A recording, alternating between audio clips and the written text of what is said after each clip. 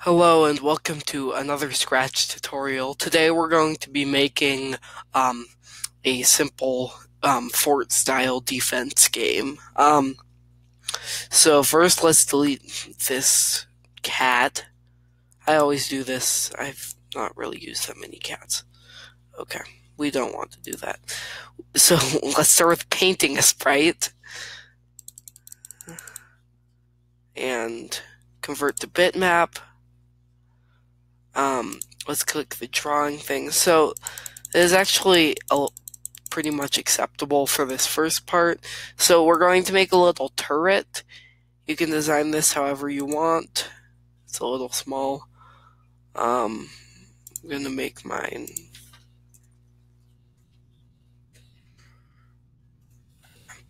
And now let's make this B. Actually, let's make it two so that we can draw in the middle. Okay, so then we, th now we have our turret. Um, so let's say on flag. This is just really basic. Um, let's have it go. Let, let's have it over here for the game. Um, so on flag, go to um, we want to set y to zero. So now it's in the middle. And then let's get a repeat forever function. And tell it to point towards mouse pointer, which is under here. Um, so now we have our, a little turret thing. Um, so now let's make a projectile to shoot. So, um, zoom in, convert to bitmap. Let's make the color red. Alright. So, we're going to start with basic projectiles. Just like little rapid fire projectiles. So, um, let's get another on flag program. And on flag is when you click the flag as a clarification. Some people have missed that before. So I just want to point out that it's when you're clicking this, not when you open the program. So, um, so on flag, and then get a repeat forever function, put an if statement into that repeat forever function, then say, um, then say, um, if mouse down, which is if you're clicking then it will create a clone of itself. And then get when I start this clone as well. So let's go up to looks, make it disappear at the beginning, and when it starts as a clone, it will show. Um, let's say for motion, we want it to go to sprite one.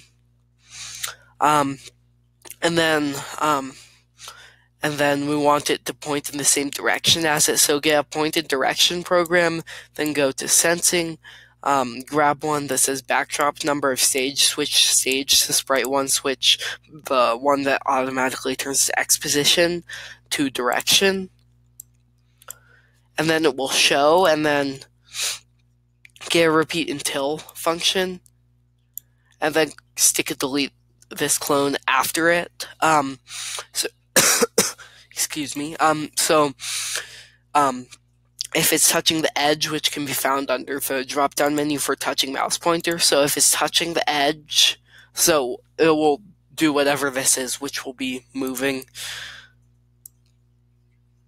So now we can shoot little lasers. Um, you can add a delay function here to make your fire rate slower. That might be better depending on the game you're making. I'm going to make a really crazy game that will lag a ton, but um, it, it depends on your personal preference. So let's convert this to bitmap too, just because it seems like that we're kind of making that our style here. And this will be the little enemy. Let's just make it like a circle. Size 10. Okay, so now it's it's also slightly smaller than the turret. Um, let's make a small eyeball. I don't know. I always like doing this. This is like this a strange style of drawing that I do for some reason. little things with eyeballs. Okay. So next, so now on we want to actually let's go over here.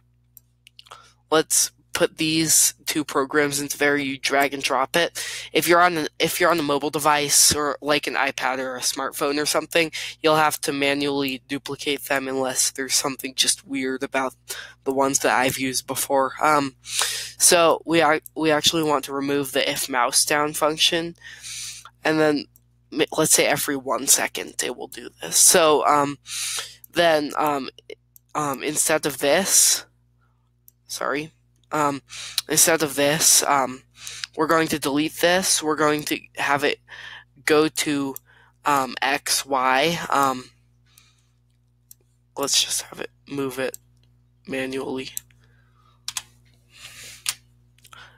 Let's have it go here. Um, but for Y, we want it to we want to make it random. So um, it's so the range of the Y axis is negative 180 to 180. So let's say like negative 170. Yes. 170. Um, so now it can show up pretty much anywhere. Then it will show and then repeat until touching sprite 1. Um, we want it to point towards um, sprite 1. Um, sorry, I missed it. Um, point towards sprite one and move maybe three steps. And then um, we want to get an if statement. Um, so if um, it's touching the color of the lasers, which you'll find under sensing, and the color of the lasers, if you don't remember, is 100, 100, 100, or 0, 100, 100, which are the same thing. So if it's touching the color of the lasers, it will delete the clone of itself. But otherwise, if you let it get there, let's make a variable called health. Let's just go all out with an actual, like, achievable game. So, um, if it's touching it, it will, or let's start this at the beginning. Sorry. At the beginning, it will set the health, let's say to 100. You can set this as high or low as you want. And then if it makes it and touches you, change health by like minus 5, let's say. Um, and let's actually get an if else statement for that. And then grab an, uh, uh, one of the greater or less than blocks as always, it doesn't really matter which one you grab, but um, as long as you put the things in the right place. Um, so, if health is greater than zero, or actually, if health is greater than five, since it's changing it by negative five, so, um,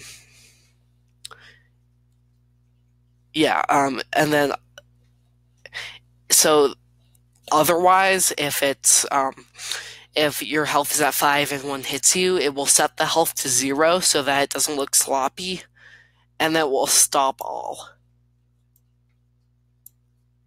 Um, and yeah, so um, now let's just make a score variable too. Pretty much the same,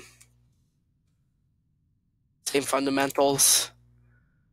Just at the beginning, we want to set the score to zero, and then like change score by change the score by one. Um, if you destroy one of them, so if you shoot one of the or not shoot, um, if you eliminate one of the little things, I have to be careful about what I say. Um, then it will change your score by one. So now, so my score is one and they're all chasing me. Um, but if one hits me, my score goes down, or not my score, my health goes down by five. This is why um, a health rate, or a, not health rate, a fire rate that's lower might be might make this a little bit better of a game.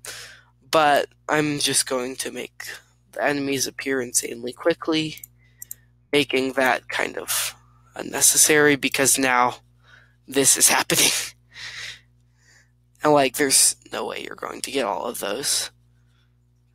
Um, it's also a very fast way to score points. Um, anyway, that's all for this tutorial. I'll see you in the next one. Um, but um, another thing I want to add is this is a very good base to build games on. Maybe make different enemies or like different types of lasers. But I'm that's all I'm going to do, and I'll see you in the next tutorial.